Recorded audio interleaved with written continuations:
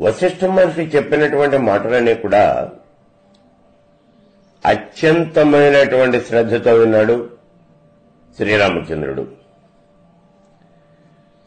ఆయన ఇంతవరకు అనేకమైనటువంటి విషయాలు చెబుతూ ఓ రామచంద్ర మనస్సు అనేది ఉన్నది ఇక్కడ. ఈ మనస్సు వలనే చరాచర జగత్తు అంతా కూడా సృష్టించబడుతూ ఉన్నది. ఈ జగదాడంబరం అంతా కూడా మనోకల్పితమేను అని చెప్పాడు. అంటే మనస్సు కనుక నశించినట్లయితే ఈ జగత్తు అనేది పూర్తిగా నశించిపోతుంది. అసలు జగత్తు ఏమీ ఉండదు. కాబట్టి మనోనాశనం జరగాలి.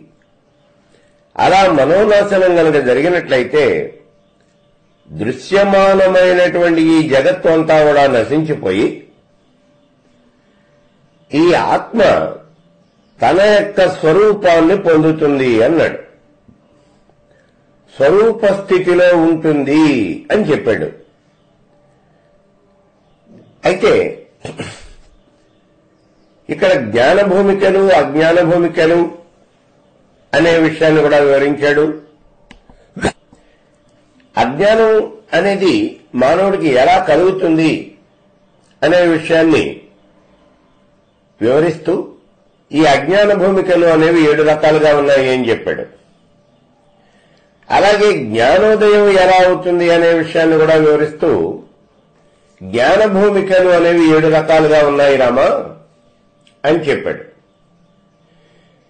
ఈ ఏడు జ్ఞాన భూమికలు పూర్తిగా అర్థం చేసుకున్నటువంటి వాడు వాటిని ఆచరించినటువంటి వాడు. అతడు తప్పనిసరిగా స్వరూప స్థితిని పొందుతాడు అతడు మోక్షాన్ని పొందుతాడు అని చెప్పాడు. అయితే ఇక్కడ ఇంకో విషయం మనం గుర్తుపెట్టుకోవాలి. జ్ఞాన భూమికల ఎందు ఉన్నటువంటి వాడు ఈ భూమికలు ఆచరించినటువంటి వాడు అతడు గృహస్థు కాని బ్రహ్మచారి గాని సన్యాసి కాని ఏ స్థితిలో ఉన్నటువంటి వాడైనా సరే ఏ ఆశ్రమంలో ఉన్నటువంటి వాడైనా సరే అంతేకాదు క్రిమి గాని కీటకం గాని పశువు గాని పక్షి గాని మానవుడు గాని వృక్షం గాని ఏదైనా సరే ఏ జీవైనా సరే ఈ జ్ఞాన భూమికను గనక ఆచరించినట్లయితే తప్పనిసరిగా మోక్షం పొందుతుంది అనే విషయాన్ని చెప్పాడు. ఇందులో అనుమానం ఏం లేదయ్యా అన్నాడు. అంటే జ్ఞాన భూమికలు ఆచరించినటువంటి వాళ్ళు తప్పనిసరిగా మోక్షం పొందుతారు వాళ్ళకి పునర్జన్మ అనేది ఉండదు. ఈ విషయాన్ని చెప్పాడు. ఇదంతా కూడా చాలా శ్రద్ధగా విన్నాడు ఈ శ్రీరామచంద్రుడు. ఇప్పుడు ఆయనకు ఒక చిన్న అనుమానం వచ్చింది. గురువర్య మీరు చెప్పిన విషయాలన్నీ నేను చాలా జాగ్రత్తగా విన్నాను అంతా బాగుంది. అయితే ఇక్కడ ప్రతిసారి కూడా మీరు స్వరూప స్థితిలో ఉంటారు అని చెప్తూ ఉన్నారు. అదే ఆత్మ సాక్షాత్కారము అంటున్నారు. అదే మోక్ష స్థితి అని చెప్తూ ఉన్నారు. జీవి తన యొక్క స్వరూప స్థితిలో ఉండటాన్నే మోక్షము అనే మాటను మీరు పదే పదే చెప్తూ ఉన్నారు. అసలు ఆ స్వరూప స్థితి అంటే ఏమిటి? స్వరూపము అంటే ఏమిటో నాకు వివరించ వివరించవలసింది అని అడుగుతూ ఉన్నాడు. అసలు స్వరూపము అంటే ఏమిటి? ఈ విషయాన్ని నాకు చెప్పండి అని అడిగాడు. ఇక్కడ ఒక్క విషయాన్ని చూడండి. జీవి యొక్క స్వరూపము అంటే ఏమిటి అసలు? స్వరూప స్థితి అంటే ఏ స్థితిలో ఉంటుంది ఈ జీవి? దాని అసలైనటువంటి రూపం ఏమిటి? ఈ విషయం మనం చూద్దాం ఒకసారి. వశిష్ఠ మహర్షి ఎలాగూ చెప్పబోతూ ఉన్నాడు. కానీ మనకి తెలిసినటువంటి విషయం ద్వారా ఇంతవరకు మనం చెప్పుకున్నటువంటి విషయం ద్వారా ఈ స్వరూప స్థితి అంటే ఏమిటో స్వరూపం అంటే ఏమిటో మనం చెప్పుకుందాం ఒకసారి చూడండి. మనం మననం చేద్దాం. కొత్తగా మనం ఏం చెప్పుకోక్కర్లేదు మనం చెప్పుకున్నటువంటి విషయాలే ఇప్పుడు మళ్ళీ అడుగుతూ ఉన్నాడు ఈ రామచంద్రుడు. ఏమిటి ఈ స్వరూప స్థితి అని అంటే? ఈ చరాచర జగత్తులోనూ ఉన్నటువంటిది ఒకటే. ఏమిటి అంటే అదే పరబ్రహ్మ స్వరూపము అంతకు మించింది ఏది కూడా లేదు అని గతంలో మనం చెప్పుకున్నాం. ఈ లోకంలో జీవరాశిని సృష్టించిన తర్వాత ఈ మానవ దేహంలో నేను లేకపోతే ఎలాగా అని ఆలోచించింది ఈ పరబ్రహ్మ. అలా ఆలోచించింది వెంటనే బ్రహ్మరంధం ద్వారా ఈ శరీరంలో ఈ దేహంలో ప్రవేశించింది. ఇలా ప్రవేశించి జ్ఞానేంద్రియాలు కర్మేంద్రియాలు వీటన్నిటితోనూ కూడా ఐహికమైనటువంటి సుఖాలన్నీ కూడా అనుభవిస్తూ పంజరంలో బంధించబడినటువంటి పక్షిలాగా ఈ శరీరంలో బందీ అయిపోయింది. ఎంతవరకు బందీ అయిపోయింది అంటే బయటికి వెళ్ళేటటువంటి మార్గం కూడా తెలియలేదు. అంటే ఏ రకంగా తాను లోపలికి వచ్చాను అనే విషయం కూడా తెలియటం లేదు ఈ ఆత్మకి. అలా బందీ అయిపోయింది. ఇప్పుడు ఇలా బందీ అయిపోయి ఇంకా ఏం చేస్తూ ఉన్నదో చూడండి. బందీ అయిపోయినటువంటి ఆత్మ దేహం చేసేటటువంటి పనులన్నిటికీ కూడా కర్త భోక్త రెండు కూడా తానే అని భావన చేస్తోంది. అంటే అజ్ఞానంతో నిండిపోయింది. అజ్ఞానంతో నిండిపోయి ఈ శరీరంలో ఉన్నటువంటి ఆత్మ కాస్త జీవాత్మ అని పిలువబడుతూ ఉన్నది. అందుకే మనం గతంలో చాలాసార్లు చెప్పుకున్నాం. ఆత్మస్వరూపము అనేది ఆత్మ అంటే పరమేశ్వర స్వరూపం. ఈ ఆత్మస్వరూపము అనేది మాయతో గనక కలిసినట్లయితే ఈశ్వరుడు అవుతూ ఉన్నాడు.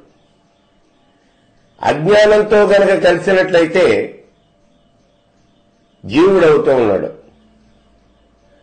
కాబట్టి ఇక్కడ ఈ దేహంలో ప్రవేశించినటువంటి ఈ ఆత్మ దేహం చేసేటటువంటి పనులన్నిటికీ కూడా తానే కర్తని భోక్తని అని భావన చేస్తూ ఉన్నది. అందుచేత అజ్ఞానముతో పూర్తిగా అజ్ఞానం ఆవరించిపోయింది. సామాన్యంగా కాదు అజ్ఞానంలో మునిగిపోయింది. అలా మునిగిపోయి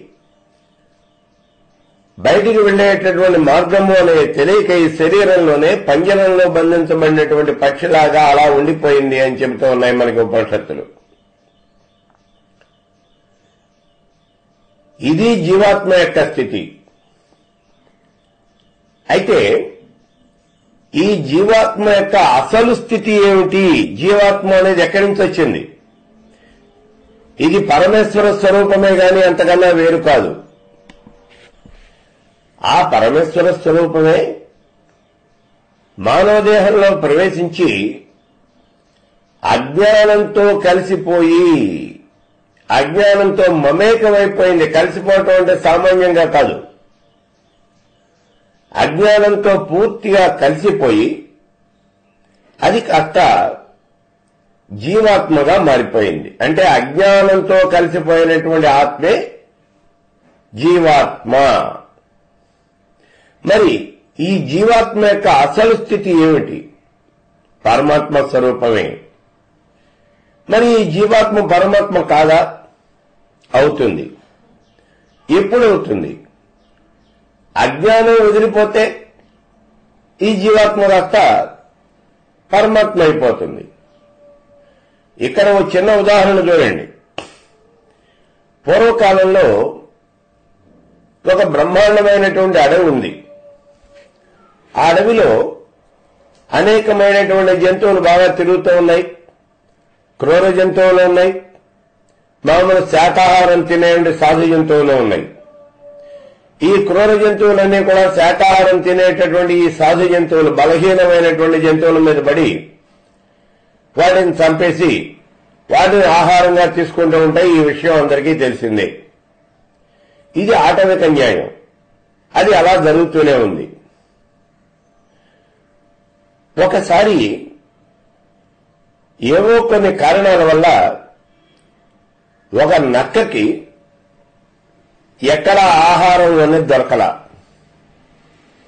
కొన్ని రోజుల పాటు ఈ నక్కకి ఆహారం అనేది దొరకల. దాంతో నక్క బాగా క్షీణించిపోయింది బాగా సన్నబడిపోయింది. ఆహారం లేక బాగా సన్నబడిపోయింది. అలా ఉన్నటువంటి ఈ నక్క ఆహారం ఏమన్నా దొరుకుతుందేమో అని అడవిలో అటు ఇటు ఇటు అటు తిరుగుతోంది వెతుక్కుంటూ ఉంది అలా తిరగ తిరగ ఓ పెద్ద వృక్షం కనిపించింది. ఆ వృక్షానికి ఒక తొర్ర ఉంది. ఆ త్వరలో ఆహారము అనేది ఉంది. అయితే ఆ చెట్టు త్వర చాలా చిన్నదిగా ఉంది. లోపలికి వెళ్ళేటందుకు చాలా చిన్న రంధ్రం మాత్రమే ఉంది. ఈ నక్క బాగా శుష్కించిపోయింది. దాంతో గబిక్కిన ఆ త్వరలో నుంచి ఆ రంధ్రంలో నుంచి చెట్టు త్వరలోకి ప్రవేశించేసింది. అక్కడ ఉన్నటువంటి ఆహారం అంతా కూడా కడుపారా తినేసింది. ఆవగా తినేసింది. ఎందుకంటే చాలా రోజుల నుంచి నక్కకి ఆహారం అనేది దొరకల. దాంతో చాలా ఆత్రులతో ఈ ఆహారాన్ని అంతా తినేసింది. ఎప్పుడైతే ఈ ఆహారం అనేది బాగా తినేసిందో దీని పొట్ట కాస్త ఇంత లావైపోయింది ఉన్నటువంటి ఆహారం అంతా తినేసిన తర్వాత ఇప్పుడు బయటికి రావడానికి ప్రయత్నం చేసింది లెక్క నక్క. బయటకు వచ్చేద్దాము అని ఇలా ప్రయత్నం చేసింది. మనం ఇందాకే చెప్పుకున్నాం ఆ చెట్టు యొక్క తర్ర అనేది ఆ రంధ్రం అనేది చాలా చిన్నగా ఉంది. దాంతో అందులో నుంచి బయటికి రావడానికి వీలు లేకపోయింది. వెళ్ళేటప్పుడైతే నక్క అనేది చాలా సన్నగా ఉంది అందుకని లోపలికి వెళ్ళిపోగలిగింది. కానీ ఇప్పుడు లోపల ఉన్న ఆహారం అంతా బాగా తినేసి దీని పొట్ట లాగైపోయింది ఆ చెట్టు తరలో నుంచి బయటకు రావడం అనేది దీనికి సాధ్యం కాల ఏం చేయాలి? అలాగే లోపల వెళ్ళిపోయింది. ఎంతవరకు వెళ్ళిపోయింది? దీని కడుపులో ఉన్నటువంటి ఆహారం అంతా జీర్ణమైపోయి మళ్ళీ తాను లోపలికి వచ్చేటప్పుడు ఏ పరిమాణంలో అయితే ఉన్నదో ఆ పరిమాణం వచ్చేదాకా అలాగే పడుతుంది ఆ త్వరలోనే. అంటే దాని శరీరం అనేది మళ్ళీ శుష్కించిపోవాలి. అలా శుష్కించిపోయిన తర్వాత ఇప్పుడు ఈ త్వరలో నుంచి బయటకు వచ్చింది ఆ నక్క. చూడండి ఇక్కడ. అలాగే ఈ పరమాత్మ స్వరూపము అనేటటువంటిది మానవ దేహంలో ప్రవేశించింది బ్రహ్మరంగం ద్వారా. ఇలా బ్రహ్మరంగం ద్వారా మానవ దేహంలో ప్రవేశించినటువంటి ఈ పరమాత్మ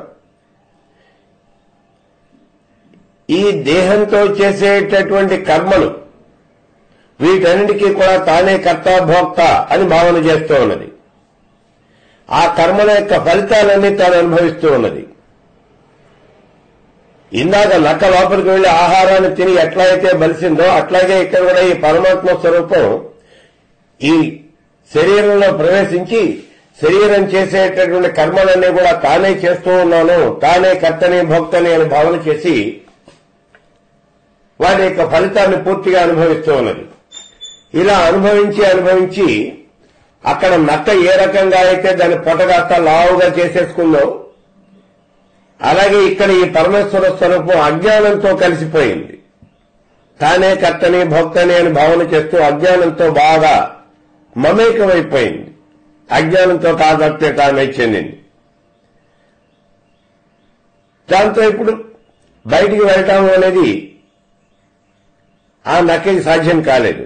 అలాగే ఈ పరమాత్మ స్వరూపానికి కూడా తన యొక్క స్వరూపము అనేది ఏమిటో తెలియటం లేదు. బయటికి వెళ్ళే మార్గం కూడా తెలియటం లేదు. మరి బయటికి వెళ్ళేటటువంటి మార్గం తెలియాలి అంటే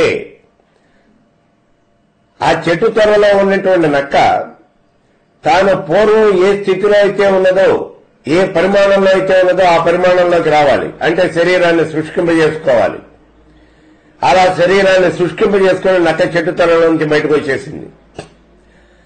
అలాగే ఇక్కడ ఈ జీవుడు తాను పరమేశ్వర స్వరూపాన్ని అని తెలుసుకోవాలి అంటే తాను మమేకమైనటువంటి ఈ అజ్ఞానాన్ని పూర్తిగా వదిలించుకోవాలి. కాబట్టి అజ్ఞానాన్ని కనుక పూర్తిగా వదిలించుకున్నట్లయితే ఈ జీవుడే పరమేశ్వర స్వరూపము అనే విషయాన్ని తెలుసుకోగలుగుతాడు. తానే పరమేశ్వర స్వరూపాన్ని అనే విషయాన్ని తెలుసుకోగలుగుతాడు ఈ జీవుడు. జీవాత్మ పరమాత్మ నిజంగా చెప్పాలంటే రెండు ఒకటే ఇక్కడ రెండు ఆత్మలు లేవు. కేవలం అజ్ఞానంతో. అందుకే మునకోపనిషత్తులో చెప్పారు చూడండి. సంసారము అనేటటువంటి వృక్షం మీద రెండు పక్షులు కూర్చొని ఉన్నాయి. ఈ రెండు కూడా ఒకే రంగులో ఒకే రూపంలో ఒకే ఆకారంలో ఉన్నాయి. అందులో ఒకటి అక్కడ దొరికినటువంటి కాయలు పండ్లు అన్ని కూడా తింటూ ఉన్నది. రెండవదేమో ఏమీ తినకుండా దిక్కులు చూస్తూ ఉన్నది. ఎందుకని అని అంటే కాయలు పండ్లు తినేటటువంటిదేమో జీవాత్మ. తినకుండా దిక్కులు చూస్తూ కూర్చున్నటువంటిది పరమాత్మ. ఈ జీవాత్మ ఎందుకు తింటూ ఉన్నది? ఈ కాయలు పండ్లు ఎందుకు దొరికాయి? అని అంటే ఇవన్నీ కూడా తాను చేసుకున్నటువంటి కర్మ యొక్క ఫలితాలు. ఆ కర్మ ఫలితాలు అనుభవిస్తూ ఉన్నది జీవాత్మ. మరి ఈ పరమాత్మ సంగతి ఏమిటి? పరమాత్మ కర్మ అనే చేయదు. అందుకని దానికి ఏ రకమైనటువంటి కర్మ ఫలితములు కూడా ఉండవు కర్మ ఫలితాలు అంటవు. అయితే ఈ రెండు వేరువేరా జీవాత్మ పరమాత్మ రెండు వేరువేరా? కాదు. మరి ఏమిటి వేరువేరుగా ఎందుకు కనిపిస్తూ ఉన్నాయి? ఈ రెండు ఒకటే నిజానికి. కానీ ఈ జీవాత్మ అనేది అజ్ఞానంతో కూడి ఈ అజ్ఞానం చేత కలిసిపోవటం వల్ల తాను జీవాత్మని అని భావన చేస్తూ ఉన్నది. పరమాత్మ కన్నా తాను భిన్నమైనటువంటి దానిలో అని భావన చేస్తూ ఉన్నది. నిజానికి మాత్రం అది కాదు. ఇప్పుడు తనకు అంటుకున్నటువంటి ఆ అజ్ఞానాన్ని కనుక తొలగించుకోగలిగినట్లయితే ఈ జీవాత్మే పరమాత్మ స్వరూపం అవుతుంది. ఈ రెండు ఒకటే అయిపోతాయి. ఇంకా అక్కడ జీవాత్మ పరమాత్మ అనేటటువంటి రెండు పక్షులు కనిపించవు రెండు కూడా ఒకటే అయిపోతాయి. కాబట్టి ఆత్మ యొక్క తన స్వరూపాన్ని ఆత్మ అనే తన యొక్క అసలు రూపాన్ని పొందటము స్వరూప స్థితిని పొందటము అని అంటే పరమాత్మ స్వరూపాన్ని పొందటమే. ఆత్మ స్వరూపం ఏమిటి అంటే జీవాత్మ యొక్క స్వరూపం ఏమిటి అంటే పరమాత్మ స్వరూపమే జీవాత్మ స్వరూపం. అంతకన్నా తేడా ఏం లేదు. జీవాత్మ పరమాత్మ రెండు ఒకటే. ఇప్పుడు చూడండి. ఆ స్వరూప స్థితి అంటే ఏమిటి అసలు? స్వరూపం అంటే ఏమిటి? ఈ విషయాన్ని నాకు వివరించవలసింది గురువు గారు అని ఈ రాముడు వశిష్ఠ మహర్షిని అడుగుతూ ఉన్నాడు. విన్నాడు వశిష్ఠుడు. ఇప్పుడు ఈ ఉత్పత్తి ప్రకరణంలో ఉన్నటువంటి ఆఖరి సర్గ నూట ఇరవై రెండవ సర్గ అందులో ఈ స్వరూపాన్ని వివరిస్తూ ఉన్నాడు. స్వరూపాన్ని నిరూపిస్తూ ఉన్నాడు అక్కడ. ఓ రామచంద్ర జన్మించిన తర్వాత ఈ బుద్ధి అనేది కొంచెం కొంచెం కొంచెం వికాసం చెందుతూ ఉంటుంది. అయితే ఈ బుద్ధి అనేది పూర్తిగా ఎప్పుడైతే వికాసం అనేది చెందుతుందో అప్పుడు మొట్టమొదటిగా మాయా అనేది పూర్తిగా తొలగిపోవాలయ్యా ముందు. అంటే ఇదంతా కూడా మాయా ఈ చరాచర జగత్తంతా కూడా మాయా అనేటటువంటి విషయాన్ని అతను అర్థం చేసుకోగలుగుతాడు. అలా అర్థం చేసుకున్న తర్వాత మొట్టమొదటిగా అసలు సత్సంగత్యము అనేటటువంటి చేస్తాడు మానవుడు. ఎప్పుడైతే ఈ చరాచర జగత్తంతా కూడా మాయా స్వరూపము మాయ చేతనే కల్పించబడినది. ఇదేది కూడా శాశ్వతమైనటువంటిది కాదు అనే విషయాన్ని తెలుసుకోగలిగాడు. అప్పుడు ఈ మానవుడు సత్సంగత్యము అనేటటువంటి ఈ పని చేస్తాడు. అయితే ఈ నిరంతరము ప్రవాహశీలమైనటువంటి అవిద్య అనేటటువంటిది ఉన్న చూసావా ఇక్కడ? అవిద్య. అదే అజ్ఞానం. ఈ అవిద్య అనేటటువంటిది బ్రహ్మాండమైన జీవనది లాంటిది అది గంగా నది మూడు వందల అరవై రోజులు ఏ రకంగా అయితే ఏకదాటిగా ప్రవహిస్తూ ఉంటుందో అలాగే ఈ అవిద్య కూడా మానవుల్లో అలా ప్రవహిస్తూనే ఉంటుంది. అసలు ఎక్కడా దీనికి అడ్డు ఆపు అనేది ఉండదు. ఇది చాలా ఉధృతంగా ప్రవహిస్తూ ఉంటుంది. ఆ గంగా నదికి వచ్చిన ఇబ్బంది అదే మనకి. చూడండి వేసవి కాలంలోనేమో హిమాలయ పర్వతాల మీద మంచు కరిగి నీళ్ళు వస్తాయి. వానాకాలంలోనేమో వర్షాలు పడి నీళ్ళు వస్తాయి. కాబట్టి ఏ కాలంలో అయినా సరే అది పొంగి పొరవుతూనే ఉంటుంది ఈ గంగా నది. అటువంటి నదిని దాటాలి అంటే చాలా కష్టం. ఎందుకంటే ఎప్పుడు చూసినప్పటికీ ఉధృతంగానే ప్రవహిస్తూ ఉంటుంది. అదే విషయాన్ని చెప్తూ ఉన్నాడు ఇప్పుడు ఈ అవిద్య అనేటటువంటిది కూడా అలాగే ఉధృతంగా ఉంటుందయ్యా. సరే మరి గంగా నదిని దాటాలి అంటే ఏం మరబొట్లో వేసుకుని మనం దాటుతాం? మరి ఇప్పుడు ఈ అవిద్య అనేటటువంటి ఈ నదిని దాటాలి అంటే ఇక్కడ ఉన్నటువంటిది ఒక్కటే సత్సాంగత్యము శాస్త్ర పఠనము శాస్త్రాభ్యాసము అని అంటాం మనం. శాస్త్రాలు చదవాలి ముందు ఆ తర్వాత సత్సాంగత్యము అనేది చేయాలి. ఈ విషయాన్ని గతంలో చాలాసార్లు మనం చెప్పుకున్నాం చూడండి. శాస్త్రాభ్యాసము అనేది తప్పనిసరిగా చేసి తీరాలి. చాలా మంది మనకి చెప్తూ ఉంటారు. ఎందుకండి ఈ శాస్త్రాలు చదవటం? జరిగితే చదివితే ఏమిటి ఉపయోగం అని. ఉపయోగం చాలా ఉంది. శాస్త్రాభ్యాసం కనుక చేయకపోయినట్లయితే అదే జ్ఞాన సముపార్జన అనేది చేయటం. ముందు శాస్త్రాలు చదివినట్టయితేనే నీ జ్ఞానము అనేది తెలుస్తుంది. వచ్చిన ఉదాహరణ చూడండి ఇక్కడ. ఒక గురువు గారు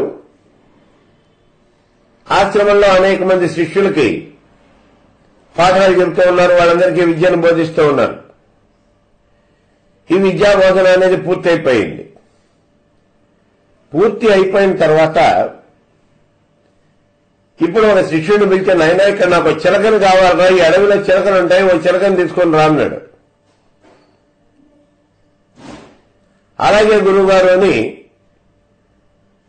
ఈ శిష్యుడు అడవికి బయలుదేరి వెళ్ళాడు. పొద్దున్న నిద్ర లేచి అడవికి వెళ్ళిపోయాడు. పగలంతా తిరిగాడు. అడవిలో చాలా లోపలికి వెళ్ళిపోయాడు. ఎక్కడా చిలక అనేది కనిపించలేదు.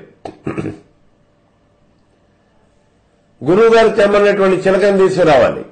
కానీ ఆ చిలక అనేది ఎక్కడా కనిపించట్లేదు అలా వెతుకుతూ వెతుకుతూ వెతుకుతూ వెళ్ళాడు. ఎక్కడా కనపడలేదు.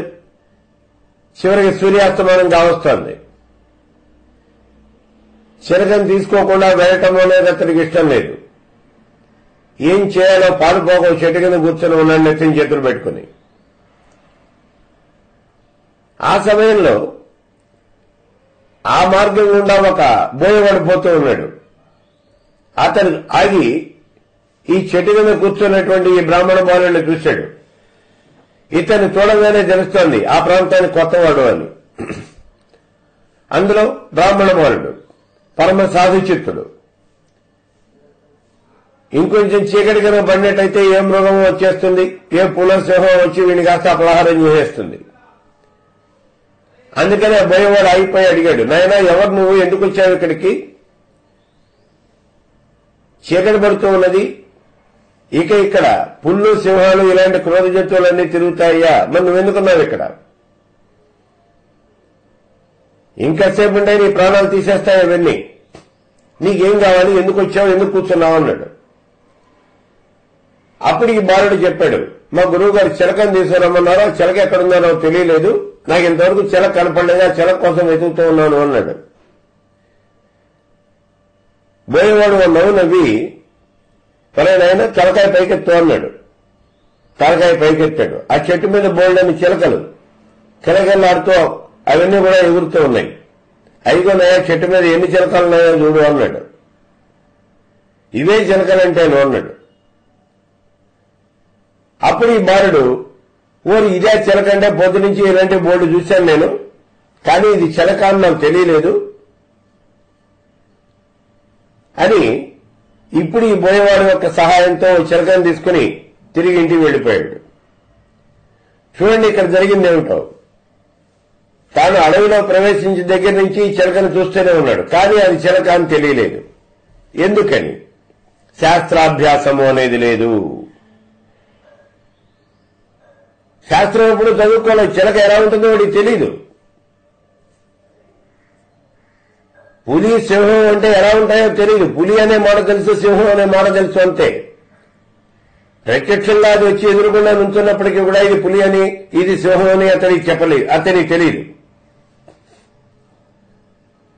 ఇవన్నీ విషయాలు తెలియాలి అంటే శాస్త్రాభ్యాసం అనేది తప్పనిసరిగా కావాలి. ఇప్పుడింతకీ ఈ ఉదాహరణ ఎందుకు చెప్పుకున్నాము అంటే అనేక మంది మనకి చెబుతూ ఉంటారు ఈ శాస్త్రాలు చదివి ఉపయోగం ఏంటంటే వేదాలు చదివితే మోక్షం రాదు శాస్త్రాలు చదివితే మోక్షం రాదు. నిజమే వేదాలు చదివితే మోక్షం వస్తుందని ఎవరూ చెప్పలేదు శాస్త్రాలు చదివితే మోక్షం వస్తుంది అని ఎవరూ చెప్పలేదు. కానీ శాస్త్ర పరిజ్ఞానం మాత్రం కావాలి. మోక్షం కావాలి అంటే పరమాత్మ స్వరూపము అంటే ఎలా ఉంటుంది? పరమాత్మ స్వరూపాన్ని గురించినటువంటి వివరాలన్నీ కూడా నీకు తెలియాలి ముందు. అవి తెలియాలి అంటే నువ్వు తప్పనిసరిగా శాస్త్రాలు చదవాల్సిందే. అందుకని ఈ శాస్త్ర పరిజ్ఞానము అనేది కావాలి. ఆ తర్వాత రెండోది సత్సాంగత్యము అనేటటువంటిది. సత్సాంగత్యము అంటే మంచి వాళ్ళతోనే అదే రకమైనటువంటి ఆలోచనలో ఉన్నటువంటి వాళ్ళతో వీళ్ళతోనే ఎప్పుడూ మనం కలిసి తిరుగుతూ ఉండాలి వాళ్ళతోనే మన భావాలు పంచుకుంటూ ఉండాలి. వాళ్ళతోనే మనం తిరుగుతూ ఉండాలి వాళ్ళతోనే ఉంటూ ఉండాలి. ఇలా కనుక ఉన్నట్లయితే నీ యొక్క ఆలోచనలు అనేవి వృద్ధవుతాయి. నీ భావాలు అనేది పెంపొందుతాయి. ఇక్కడ ఒక విషయం చూడండి. శాస్త్రాలు బాగానే చదివాడు. పాలు కనుక తోడు వేసినట్లయితే పెరుగవుతుంది అనే విషయం శాస్త్రాలు చదవటం వల్ల తెలిసింది. కానీ అనుభవంలో తెలియలా. ఇలాంటి విషయాలు అనుభవంలో తెలియాలి అంటే ఈ సత్సంగత్యము అనేటటువంటిదే కావాలి. ఇక్కడ ఈ సత్సంగత్యము అన్నప్పుడు మనకన్నా తెలిసినటువంటి వాళ్ళు మనలాంటి వాళ్ళు ఇక్కడ అనేక మంది ఉంటారు. వాళ్ళలో మనకన్నా పెద్దవాళ్ళు మనకన్నా గొప్పవాళ్ళు మహాజ్ఞానులు అయినటువంటి వాళ్ళు కూడా ఉంటారు. కాబట్టి వాళ్ళు తెలుసుకున్నటువంటి విషయాలన్నీ కూడా మనకి చెప్తూ ఉంటారు వాళ్ళు. దీనివల్ల ప్రతి విషయాన్ని మనం శోధించవలసినటువంటి అవసరం అనేది ఉండదు. ఎందుకంటే వాళ్ళు చెప్పే విషయం మనకు అర్థమవుతుంది. వాళ్ళు చెప్పినటువంటి విషయమే మనకి ప్రామాణికం. కాబట్టి ఇక్కడ ఈ సత్సంగత్యం అనేటటువంటి తప్పనిసరిగా కావాలి మనకి. అందుకే ఇక్కడ చెప్తూ ఉన్నాడు అవిద్య అనేటటువంటి ఈ నది ఆ జీవనదిలాగా ఉధృతంగా ప్రవహిస్తూ ఉంటుంది గంగా నదిలాగా. ఆ అవిద్య అనేటటువంటి నదిని దాటాలి అంటే ఉన్నటువంటి రెండే మార్గాలు. ఏమిటది? శాస్త్రాభ్యాసము సత్సంగత్యము. ఈ రెండింటి వల్లనే ఈ అవిద్య అనేటటువంటి ఈ నదిని మనం దాటగలుగుతామయ్యా లేకపోతే అసలు మనం దాటలేము. ఈ రెండింటితోనూ ఏ వస్తువుల్ని త్యజించాలి ఏ వస్తువుల్ని త్యజించవలసిన అవసరం లేదు. ఏవి మనకి కావాలి ఏవి మనకి అక్కర్లేదు అనేటటువంటి అటువంటి వివేకాన్ని మనం తెచ్చుకోగలుగుతాం. ఏది కావాలి ఏది అక్కర్లేదు. అంటే యోగ్యమైనవి అయోగ్యమైనవి అనేటటువంటి విషయాలు ఏమున్నాయో ఈ విషయాలన్నీ కూడా ముందు మనం తెలుసుకోగలుగుతామయ్యా. ఈ రకమైనటువంటి వివేకము అనేది కేవలము ఈ శాస్త్రాధ్యయనము సత్సాంగత్యము దీని వల్లనే నడుస్తుంది. ఓ రామచంద్ర ఈ స్థితి అనేది ఎప్పుడైతే కలిగిందో అప్పుడు మానవుడికి శుభేచ్ఛ అనేటటువంటిది కలుగుతుంది. శుభేచ్ఛ అంటే ఏమిటి? ముందుగా మానవుల్లో కలిగేటటువంటి మార్పు ఇది. మొట్టమొదటిగా కలిగేటటువంటి మార్పు. ఏ మానవుల్లో? మోక్షగామి అయినటువంటి మానవుల్లో మోక్షం కావాలని ఎవరైతే అనుకుంటూ ఉన్నాడో అటువంటి మానవుడికి కలిగి వచ్చేటటువంటి మార్పు అనమాట ఇది. శుభేచ్ఛ అనేటటువంటిది. శుభేచ్ఛ అంటే ఇచ్ఛ అంటే కోరిక. శుభమైనటువంటి కోరిక మంచి కోరిక అది శుభేచ్ఛ అంటే. ఏమిటిది ఇంతవరకు నేను యథార్థం అనేది తెలుసుకోలేకపోయాను. ఇదిగో ఈ జీవనదిని ఉధృతంగా ప్రవహిస్తూ ఉన్నటువంటి ఈ జీవనదిని ఎలా దాటాలి అనేటటువంటి విషయాలు నేను తెలుసుకోలేకపోయాను. ఇప్పుడు తెలుసుకోవాలి అనేటటువంటి కోరిక అనేది నాకు కలిగింది. ఇప్పటిదాకా ఈ నది ఒడ్డునే కూర్చుని ఇన్ని సంవత్సరాలు ఎంత నా జీవితంతో కూడా వ్యర్థం చేసుకున్నాను. మూఢుల్లాగా నేను కాలక్షేపం చేశాను. ఈ నదిని దాయటానికి ఏ రకమైనటువంటి ప్రయత్నం కూడా నేను చేయలేకపోయాను. ఇప్పుడు నేను చేస్తాను. ఈ కాలాన్ని ఇంకా నేను వృధా చేయను. ఎట్లయినా సరే నేను ఈ నదిని దాటేటటువంటి ప్రయత్నం చేస్తాను అని అనుకుంటాడు. అది ఇక్కడ శుభేచ్ఛ అంటే. ఎలా దాటే ప్రయత్నం చేస్తాడు? ఇకనైనా సరే శాస్త్రాధ్యయనం చేసి సత్సాంగత్యం చేసి ఈ రెండింటి వల్ల యథార్థమైనటువంటి జ్ఞానాన్ని తెలుసుకోవాలి అనేటటువంటి కోరిక కలుగుతుంది. అది ఇక్కడ శుభేచ్ఛ అంటే. మానవుడిలో కలిగేటటువంటి మార్పు. ఇంతవరకు నా సమయం అంతా కూడా వృధా అయిపోయింది. ఇక్కడి నుంచి అయినా సరే యథార్థమైనటువంటి విషయాన్ని నేను తెలుసుకోవాలి తెలుసుకుంటాను అనేటటువంటి నిర్ణయానికి వస్తాడు. దాన్నే శుభేచ్ఛ అంటాడు. ఓ రామా జ్ఞాన భూమికలలో మొట్టమొదటి భూమిక ఏమిటి అంటే ఈ శుభేచ్ఛ మంచి కోరిక.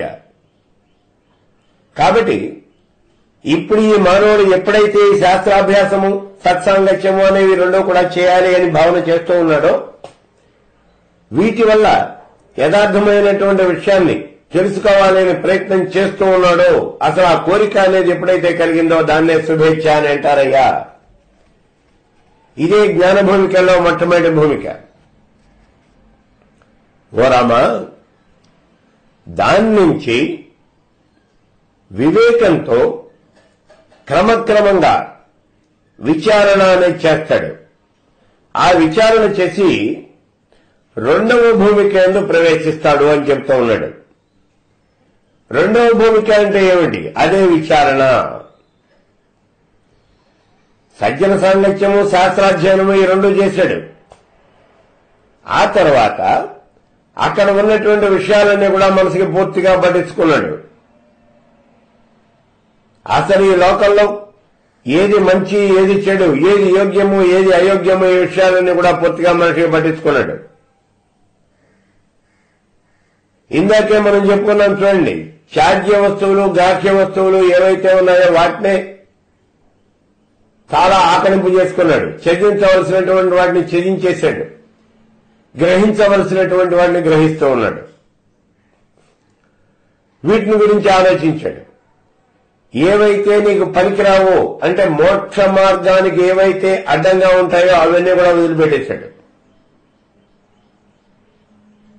అవన్నీ వదిలిపెట్టేసి వైరాగ్యము అనేటటువంటి దాన్ని అలవర్చుకుంటూ ఉన్నాడు ఇక్కడ. ఇదే విచారణ చేస్తూ ఉన్నాడు. అంటే ఈ లోకంలో ఏ కోరిక కూడా ఉండకూడదు అనే విషయాన్ని తెలుసుకున్నాడు. కామక్రోధాలు రాగద్వేషాలు ఇవన్నీ కూడా వదిలిపెట్టేయాలి అనే విషయాన్ని నిర్ణయం చేసుకున్నాడు. వాటిని వదిలిపెట్టేయడానికే నిశ్చయం చేసుకున్నాడు. ఇది ఇక్కడ విచారణ. వీటి వల్ల మనకు ఉపయోగం అనేది ఎంతవరకు ఉంది? ఎంతవరకు ఉపయోగం లేదు? ఇవి ఏమిటి అసలు? ఈ విషయాలన్నీ కూడా ఆలోచించాడు. దీన్నే విచారణ అని అంటారయ్యా. ఇప్పుడు ఈ సజ్జన సాంగత్యము శాస్త్ర పరిజ్ఞానం శాస్త్రాధ్యయనం ఈ రెండింటి వల్ల ఏర్పడేటటువంటి వైరాగ్యము అనేది ఏదైతే ఉన్నదో ఆ వైరాగ్యం ఏర్పడటానికి ఉపయోగించినటువంటి సదాచార ప్రవృత్తి అనేది ఏదైతే ఉన్నదో దాన్నేనయ్యా ఇక్కడ విచారణ అని అంటారు. ఇదే ఆత్మ విచారణ ఈ ఆత్మ విచారణ అంటే రామ మానవుడు తనను గురించి తాను తెలుసుకోవడానికి చేసేటటువంటి ప్రయత్నము అనేది ఏదైతే ఉన్నదో దాన్నే ఆత్మ విచారణ అని అంటారు. తనను గురించి తాను తెలుసుకోవడానికి చేసేటటువంటి ప్రయత్నమే ఇక్కడ. ఆత్మ విచారణ కాబట్టి ఇప్పుడు మొట్టమొదటి భూమికలో ఉన్నటువంటి వాడు ఈ రెండవ భూమిక విచారణ అనేటటువంటి ఈ రెండవ భూమికలో ప్రవేశిస్తాడు. ఆ తర్వాత ఉత్తమమైనటువంటి ఆత్మజ్ఞానాన్ని ఆ ఆత్మజ్ఞానాన్ని పొందుతాడు. అలా పొందినప్పుడు ఈ ఆత్మజ్ఞానంతో మనస్సులో ఉన్నటువంటి దుర్మార్గమైనటువంటి ఆలోచనలు దుష్టమైనటువంటి ఆలోచనలు ఇవన్నీ కూడా తొలగిపోతాయి. నిరంతరము పరమార్థ భావన అనేది చేస్తూ ఉంటాడు. దాని మీదే ఈ మనస్సు అనేది పూర్తిగా లగ్నం అవుతుంది అందుకే మనం చెబుతూ ఉన్నాం. అయితే ఈ విధంగా మనస్సు అనేది సూక్ష్మమైపోయినప్పుడు సాధకుడు తను మానసి అనేటటువంటి మూడవ జ్ఞాన భూమికేందు ప్రవేశిస్తాడు అని చెప్తూ ఉన్నాడు. ఇక్కడ చూడండి. ఎప్పుడైతే ఈ శుభేచ్ఛ విచారణ అనేవి రెండు కూడా చేశాడో అప్పుడు ఈ మోక్ష మార్గంలో ప్రవేశిస్తూ ఉన్నాడు. అసలు నేను ఎవరు అనే విషయాన్ని తెలుసుకోవడానికి ఆత్మ విచారణ అనేది చేయడానికి ప్రయత్నం చేస్తూ ఉన్నాడు. ఇలా ప్రయత్నం చేస్తూ అందులో భాగంగా ఇంద్రియ వాంఛలన్నీ కూడా వదిలేస్తాడు. దుర్మార్గమైనటువంటి దుష్టమైనటువంటి ఈ ఆలోచనలన్నీ కూడా వాసనలన్నీ కూడా వదిలిపెట్టేస్తాడు. రాగద్వేషాలు కామ క్రోధాలు ఇందాక మనం చెప్పుకున్నాం చూడండి. లౌకికమైనటువంటి కోరికలన్నీ కూడా త్యజించేస్తాడు. మనం రెండవ భూమికలోనే చెప్పుకున్నాం. ఏది త్యాజ్యము ఏది గ్రాహ్యము ఈ విషయాలన్నీ తెలుసుకుంటాడు అని. త్యజించవలసిన వస్తువులు త్యజిస్తాడు. గ్రహించవలసినటువంటి వస్తువులు మాత్రమే గ్రహిస్తాడు. ఈ లోకంలో ఉన్నటువంటి ఏమిటి అంటే ఆహార నిద్ర మైథునాలు ప్రతి వాడు కూడా వీటికి బాధిస్తారు. ఆహార నిద్ర మైథునాలు అనేటటువంటి సర్వసామాన్యమైనటువంటివి. ప్రతివాడు వీటికి బానిసవుతాడు. అయితే చాలా మంది ఇక్కడ ఓ చెన్నమారు చేస్తూ ఉంటారు. గురువు గారు మీరు ఇక్కడ మూడే చెప్పారు ఆహార భయ నిద్ర మైథునాలు అని భయం అనేది కూడా ఉన్నదండి. అందులో భయాన్ని వదిలిపెట్టేశారు అని ఇక్కడ భయాన్ని గురించి పెద్దగా మనం చెప్పుకోకర్లా. ఎందుకంటే భయానికి ఎప్పుడు కూడా మానవుడు బానిస కాడు. మిగిలిన మూడింటికే బానిస అవుతాడు. ఆహారము నిద్ర మైథునం ఈ మూడింటికే బానిస అవుతాడు. అందుకే ఈ నాలుగింటలోనే ఈ మూడింటికి మాత్రమే ప్రాముఖ్యత అనేది ఇవ్వబడింది. వీటిని త్యజించేయాలి ముందు. ఆహార నిద్ర మైదనాలను త్యజించాలి.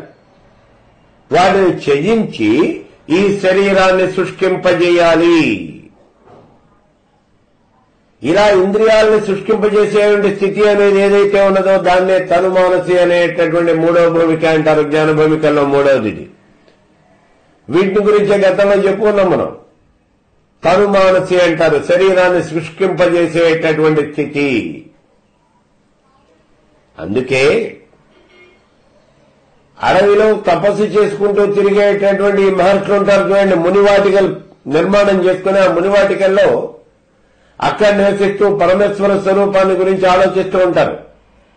తత్వజ్ఞానాన్ని గురించి ఆలోచిస్తూ ఉంటారు వాళ్ళు. అటువంటి వాళ్ళందరూ కూడా భాగవతంలో చెప్పారు చూడండి ముక్త సంగులైన మునులు దిదృక్షులు సర్వభూతహితులు సాధుచిత్తులు. అసదృశ్య వ్రతాఢ్యులు గొలుతోలు ఎవరి దివ్య పదము? గజేంద్రుడు అంటాడు. ముక్త సంగులైన మునులు దిదృక్షులు సర్వభూతహితులు సాధుచిత్తులు. మహాసాధు స్వభావం కలిగినటువంటి వాళ్ళు ఈ జగత్తులో ఉన్నటువంటి సర్వజీవులకి కూడా మేలే జరగాలి అని భావన చేసేటటువంటి వాళ్ళు ముక్తినే కాంక్షించేటటువంటి వాళ్ళు ఇలాంటి వాళ్ళు వాళ్ళ జీవితాన్ని ఎలా వెలదీస్తారు అంటే అనేక రకాలైనటువంటి వ్రతాలు నియమాలు నిష్టలు ఇవన్నీ కూడా ఆచరిస్తూ ఉంటారు వాళ్ళు. మోక్షం పొందాలి అంటే నియమాలు నిష్టలు అక్కర్లేదు అనే విషయాన్ని గతంలో నేను చాలాసార్లు చెప్పాను. ఇప్పుడు మళ్ళీ కూడా చెప్తూ ఉన్నాను. ఎందుకని అంటే చాలా మందికి అనుమానం వస్తుంది. ఏమంటే మోక్షం కావాలంటే నియమాలు కావాలా? స్నానాలు చేస్తే మోక్షం వస్తుందా? ఉపవాసాలు చేస్తే మోక్షం వస్తుందా? ఇవన్నీ కూడా అత్యలిటాట్లు తెలివితేటలు బాగా పెరిగిపోయి ఏది మాట్లాడాలో ఏది మాట్లాడకూడదో తెలియనటువంటి స్థితిలో నోటుకొచ్చినటువంటి వాడి నోటుకొచ్చి వచ్చినటువంటి మాటలు మాట్లాడేవంటి? వ్యర్థ ప్రేరాపణ అంటారు దీన్ని. మోక్షం కావాలంటే ఏ రకమైనటువంటి నిష్టలు నియమాలు అక్కర్లేదు ఈ విషయాన్ని గతంలో చాలాసార్లు చెప్పాము రోగం తగ్గాలి అంటే ఏ రకమైన పశ్చిమం చేయక్కల మందేసుకుంటే రోగం తగ్గుతుంది. కానీ డాక్టర్ గారు మాత్రం నిన్ను పచ్చి చేయమని చెప్తాడు. లేదా గోంగూర తినద్దు వంకాయ తినద్దు దుంప కూరలు తినద్దు ఇవన్నీ కూడా చెప్తాడు. ఎందుకు చెప్తాడు అంటే అవి తిన్నంత మాత్రం చేత నీ రోగం లక్షణాలు ఉన్నాయో అవి పెరుగుతాయి. వ్యాధి ప్రకోపిస్తుంది. అప్పుడు ఇంకా ఎక్కువ ఇబ్బంది పడాల్సి వస్తుంది. నెల రోజుల్లో తగ్గిపోయేటటువంటి నీ రోగం రెండు నెలలకు కానీ తగ్గదు. అప్పటికి కూడా నువ్వు తింటూనే ఉంటావు కాబట్టి తగ్గుతున్నా లేదా మనం చెప్పలేము అందుకని అంటే మందు అనేది వాడినట్లయితే రోగం తగ్గుతుంది. పక్షము అనేటటువంటిది మందు కాదు పక్షం నీ రోగానికి పక్షం అందుకే ఇక్కడ నియమాలు నిష్టలు దేనికి అంటే మోక్షం పొందాలి అనేటటువంటి కోరిక నీలో బలంగా నిలబడాలి అంటే ఆత్మస్థైర్యాన్ని పెంపొందించుకోవటానికి. మనస్సు నిర్మలం చేసుకోవటానికి దానికోసం ఇక్కడ మనకు కావలసినటువంటి ఈ నియమాలు నిష్టలు అన్నీ కూడా. కాబట్టి వీటితో ఇంద్రియాలను సృష్టింపజేసి శరీరాన్ని సృష్టింపజేసి ఆ పరమేశ్వరుని యొక్క పదార విందములను దర్శించాలి అని చెప్పేసి ముక్త తంగులైనటువంటి ముళ్ళంతా కూడా ఎదురు చూస్తూ ఉంటారు. అటువంటి స్థితినే తనుమానసి అని అంటారు. ఇది మూడవదైనటువంటి స్థితి. ఇప్పుడు ఈ తను మానసి అనే మూడో భూమికలో ఉన్నాడు. ఎప్పుడైతే ఆ యోగికి సమ్యజ్ఞానము అనేది ఉదయించిందో అప్పుడు ఆయన సత్వాపత్తి అనేటటువంటి నాలుగవ భూమికను పొందుతాడు అని చెప్తూ ఉన్నాడు. సమ్యజ్ఞానము అనేది ఉదయించింది అన్నాడు. సమ్యజ్ఞానం అంటే ఏమిటి? నిజమైనటువంటి జ్ఞానము.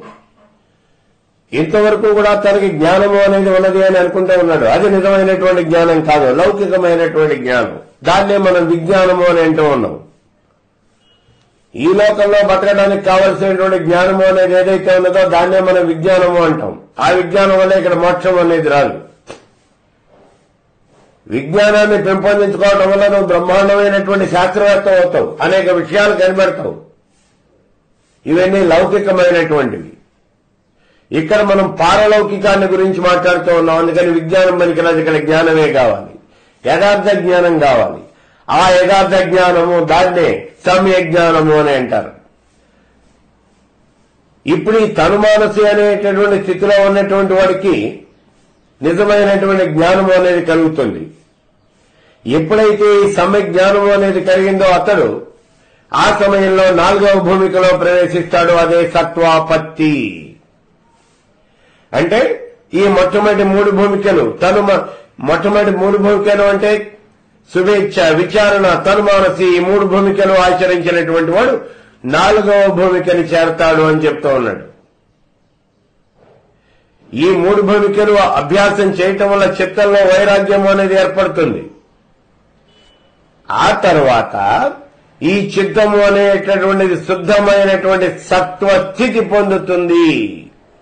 అంటే కేవలము సత్వగుణం మాత్రమే ఉంటుంది. సత్వగుణం ఒక్కటే ఉంటుంది. శరీరంలో ఇంకే ఉండవు సత్వగుణం వచ్చింది అంటే ఆత్మ అనేది నిలకడగా ఉంటుంది. అంటే మానవుడి యొక్క ధ్యాస అనేది పూర్తిగా ఆత్మ మీదనే ఉంటుంది ఆత్మ మీదనే లగ్నం అయి ఉంటుంది. ఇతడి ధ్యానం అంతా కూడా ఆత్మ మీదే కేంద్రీకర కేంద్రీకృతమై ఉంటుంది. ఇతడి ధ్యేయ వస్తువు ఏమిటి అంటే ఆత్మ అంటే పరమేశ్వర స్వరూపాన్ని గురించి ఆలోచిస్తూ ఉంటాడు. అటువంటి స్థితిని ఇక్కడ సత్వాపత్తి అని అంటారు ఇది నాలుగవ భూమిక. ఓ రామచంద్ర ఆత్మజ్ఞానంతో ఈ వాసనలు అనేవి సూక్ష్మమైపోతాయ్యా. ఎప్పుడైతే ఈ వాసనలు అనేవి సూక్ష్మమైపోతాయో అంటే క్రమేణా తగ్గిపోతాయి.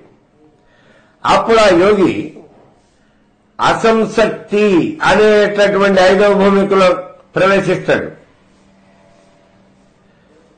ఈ అసంశక్తి అంటే ఏమిటి అసలు ఇప్పుడు మనం చెప్పుకున్నటువంటి నాలుగు భూమికలు అభ్యాసం చేయటం వల్ల శుద్ధ సత్వగుణము అనేది బాగా అలవడుతుంది. అలా శుద్ధ సత్వగుణ ప్రధానుడైనటువంటి వాడు విషయవాసంలోనే పూర్తిగా వదిలిపెట్టేస్తాడు. లౌకికమైనటువంటి విషయాలు ఏవి కూడా ఇంకా ఇతనికి ఉండవు ఈ వాసనలోనే ఉండవు. అప్పుడు అతని యొక్క మనస్సు పూర్తిగా ఆత్మ ఎందే లయమైపోతుంది. ఇలా మనస్సు పూర్తిగా ఆత్మయందు లయమైనటువంటి స్థితి ఏదైతే ఉన్నదో దాన్నే అసంశక్తి అని అంటారు. ఈ అసంశక్తి అనేటటువంటి ఐదవ భూమికేందు ప్రవేశిస్తాడు. ఇలా ప్రవేశించడంతో ఏమవుతుంది అంటే అటువంటి మానవుడు కర్మఫలంతో బద్ధుడు కాడు ఇంకా ఇతని కర్మఫలము అనేది ఉండదు.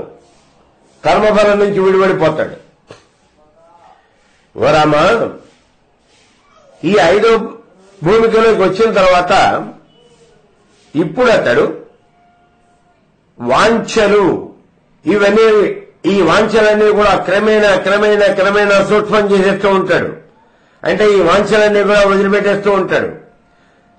బాహ్య పదార్థముల యొక్క సూక్ష్మత్వము అనేవి చూస్తాడు అంటే ఈ బాహ్య పదార్థాలు ఏవి కూడా ఉన్నాయి అని భావన చేయడం అవన్నీ కూడా బాగా తగ్గించేస్తాడు.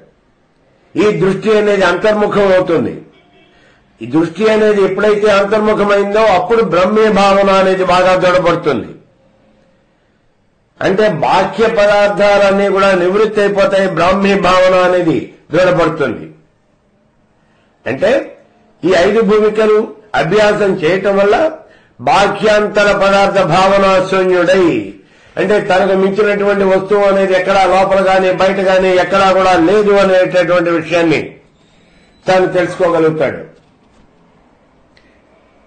లోపల లేదు బయట లేదు. ఉన్నది ఒక్కటే. తనకు మించినటువంటి పదార్థం ఏది కూడా లేదు. అలా నిశ్చయించుకున్నటువంటి వాడై తన యొక్క ఆత్మ దృఢమైనటువంటి స్థితిని అనుభవిస్తూ ఇతరులతో ప్రయత్నపూర్వకంగా అవబోధన చేసేటటువంటి స్థితి. అంటే ఈ జగత్తంతా పరమేశ్వరమయం. ఈ శరీరంలో గాని బయట గాని అంతే. లోపల గాని బయట గాని ఆ పరమేశ్వరుడికి మించినటువంటిది ఏమీ లేదు అని భావన చేస్తాడు. అటువంటి ఆత్మస్థితిని పొంది మాట్లాడు మౌనాన్ని వహిస్తాడు. ఎవరైనా ఏమన్నా అడిగితే సమాధానం చెప్తాడు అది కూడా ఇష్టం వచ్చే సమాధానం చెప్తాడు కష్టం వచ్చే మానేస్తాడు ఏం మాట్లాడు అటువంటి స్థితినే పదార్థ భావన అని అంటారు. ఇది ఆరవ స్థితి. ఓ రామచంద్ర ఇప్పుడు ఈ మానవుడు ఈ రకంగా ఆరో స్థితికి చేరతాడు. ఇలా ఈ ఆరో స్థితి పదార్థ భావన అనేటటువంటి స్థితికి చేరినటువంటి ఈ మానవుడు అతను సమాధి స్థితిలో ఉన్నప్పటికీ ప్రపంచంలో అలా తిరుగుతూ ఉన్నప్పటికీ ఇక్కడ ఏ రకమైనటువంటి స్థితిలో ఉన్నప్పటికీ అంటే సంసారము అనేటటువంటి దీంట్లో అలా ఉన్నప్పటికీ జనక మహారాజులాగా. శ్రీకృష్ణ భగవానుడు చూడండి చూసే వాళ్ళందరికీ కూడా శ్రీకృష్ణ భగవానుడు కూడా సంసారం అనేది ఉంది. ఒకళ్ళు ఇద్దరు కాదు ఎనిమిది మంది భార్యలు ఉన్నారు. కానీ ఏహీ లేనటువంటి వాడు ఏది అంటనటువంటి వాడు అది అసలు స్థితి అంటే. అందుకే అతను ప్రపంచంలో తిరుగుతూ ఉన్న భార్యాబిడ్డలతో కలిసి ఉన్న ప్రాపంచికమైనటువంటి వస్తువులన్నీ కూడా చూస్తూ ఉన్నప్పటికీ స్నానము సంధ్య జపము తపము భోజనము ఇత్యాది కార్యక్రమాలన్నీ చేస్తూ ఉన్నప్పటికీ కూడా మనస్సు అనేది బాగా సూక్ష్మమై ఉంటుంది. అందుచేత అతను ఇప్పుడు కూడా పరబ్రహ్మ యొక్క స్థితిలోనే ఉంటాడు బ్రాహ్మీ భావనలోనే ఉంటాడు.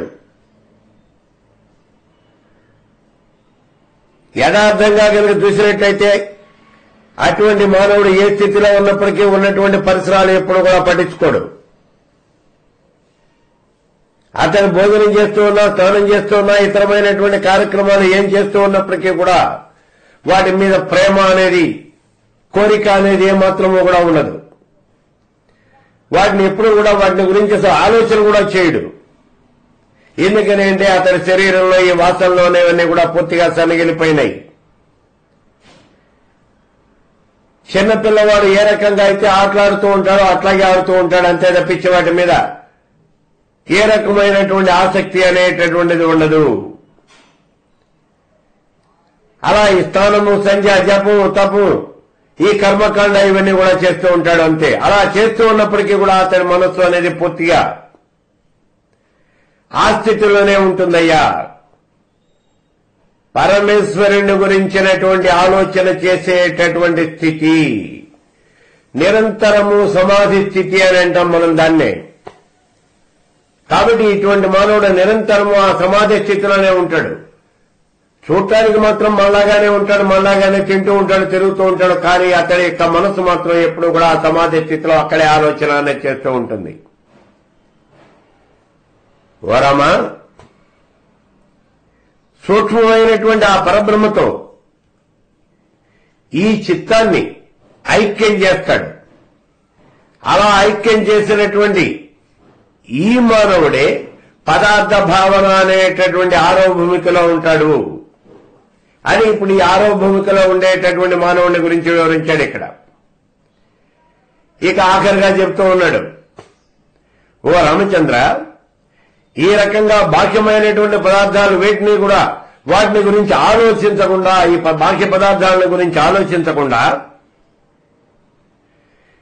సర్వకాల సర్వావస్థల ఎందు కేవలము ఆ పరబ్రహ్మ స్వరూపం మీదనే ఈ చిత్తాన్ని లయం చేసి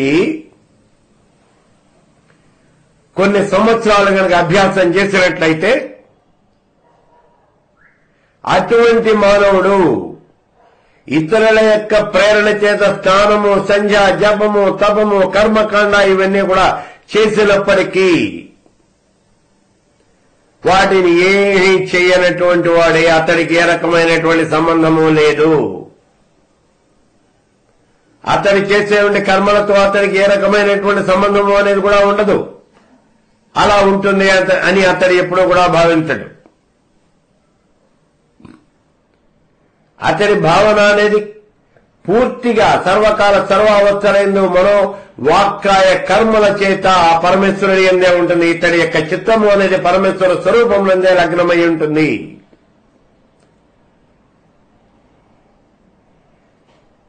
అతడు ఏడవ భూమికలో ఉన్నటువంటి వాడయ్యా. ఆ ఏడవ భూమిక అంటే తురియగా అనేటటువంటిది. అంటే ఇప్పుడు ఈ ఆరు భూమికలు క్షుణ్ణంగా ఆచరించినటువంటి వాడు ఏడవ భూమిక అయినటువంటి తురియగా అనేటటువంటి జ్ఞాన భూమికలను ప్రవేశిస్తాడు. ఈ ఆరు భూమికలు ఆచరించడం వల్ల భేదభావము అనేది పూర్తిగా నశించిపోతుంది. నేను నువ్వు నీది నాది అతడు ఆమె ఇలాంటి భావన అనేది ఏది ఉండదు. అన్నింటినీ సమానంగా చూస్తాడు.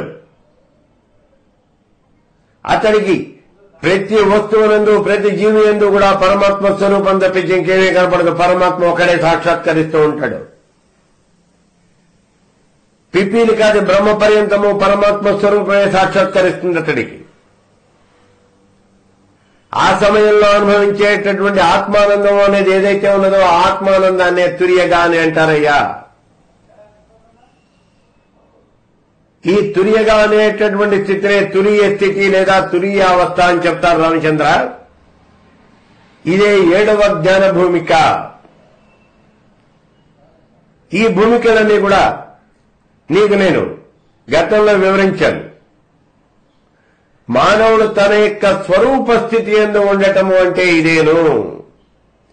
ఈ తురియగా అనేటటువంటి స్థితిలో ఉండటమే అంటే లౌకికమైనటువంటి ఈ ప్రపంచంలో తిరుగుతూ ఉన్నా తింటూ ఉన్నా ఏం చేస్తూ ఉన్నా ఇతని యొక్క చిత్తము అనేది సర్వకాల సర్వావస్థలందు ఆ పరమేశ్వర స్వరూపంతోనే లగ్నమై ఉంటుంది. ఆ స్వరూపం మీదే లగ్నమై ఉంటుంది. పిపీరి కాదు బ్రహ్మ అంతా కూడా పరమేశ్వర స్వరూపమే సాక్షాత్కరిస్తుంది. అంతేగాని అంతకన్నా ఇంకేమీ కనపడదు. జగత్తులో ఉన్నది ఏమిటి అంటే పరమేశ్వరుడు ఒక్కడే అంతకన్నా ఎవరు కూడా లేరు. ఈ విషయాన్ని అతను దృఢంగా నమ్ముతూ ఉంటాడు. అతనికి అంత తప్పించి ఇంకేం కనపడదు. ఒకవేళ అతను లౌకికమైనటువంటి కర్మలు ఏమి చేయడు. ఒకవేళ ఏమైనా చేసినప్పటికీ కూడా వాటి మీద ఆసక్తి అనేది ఏమాత్రము ఉండదు.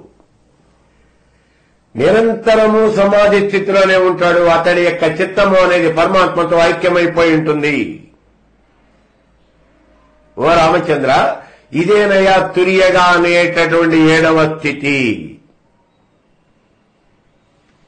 కాబట్టి ఓ రామచంద్ర నువ్వు కూడా అత్యంతమైనటువంటి ఈ చిత్త నైర్మల్యము అనేటటువంటి దాన్ని